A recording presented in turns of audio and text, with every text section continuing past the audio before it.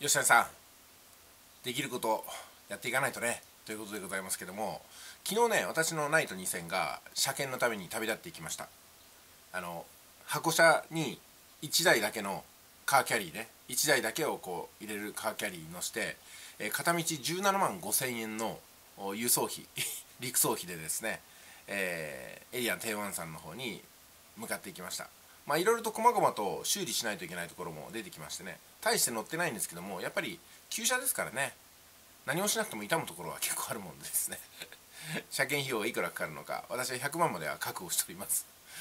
でもそれも払えるようになったからすごいなと思いますよね自分のことながら。プラスレクサス。こっちの話も進んでおりますね、えー、ということでですね今日はあのインスタグラムじゃないやなんだっけな。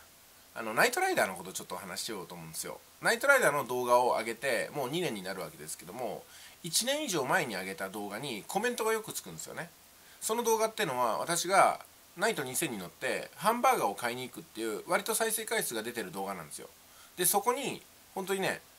昨日もコメントついたんですよ。これね何て言いますか？私の方から見るとまたかみたいなコメントなんですけどもそれ何かっていうとその動画の中でね私のナイト2000のファンベルトがあるじゃないですかタイミングベルト。あれがちょっと調整がうまくいかなくってキルキルキルキル音が鳴ってるんですよね。それが入ってるのがまあ視聴者さんは気になるみたいででいろんな方がねおファンベルト直してないぞとかキルキル音が鳴ってるのがどうにかしろよみたいになってるんですけどもこれ1年以上前の動画ですからね。いやさすがにもうね今音鳴ってないわけですよとっくに。とっくになってもないし車検にも行ってるわけなんですよ。でも1年以上前の動画を見て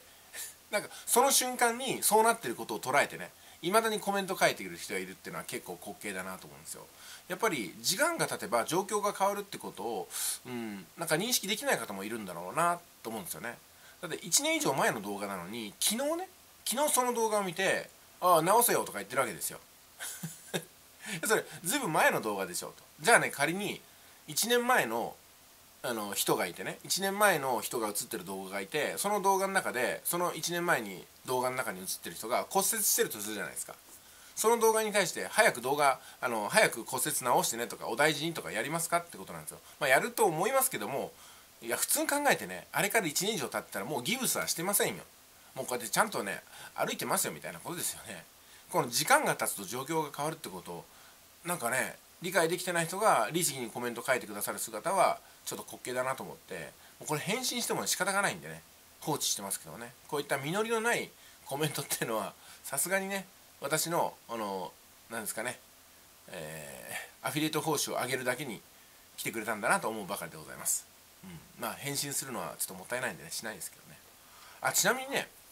あの最近大和くんの動画もどんどん上げてるんですよ。それこそ30秒とか40秒の動画なんですよね。いろんな動作をしたりとか何か食べたりとか何か物で遊んだりみたいな。一応アナリティクスを探ってみると少なくとも30円ぐらいになってるみたいなんですよ。再生数は100前後なんですけどね。これコストパフォーマンスいいですよね。だって100前後の再生ですでにね1ヶ月も経たないうちに30円とか稼いでる動画結構あるんですよね。ということで大和くんにはギャラが 発生しております。すごいですね。1歳で稼ぐやつ。日当30円か100円か分かりませんけどね、うん、これだけでも他のお子さんとはだいぶビジネスっていう面では差がついてるんじゃないかなと思いますよね。ななんていうね小話でございました。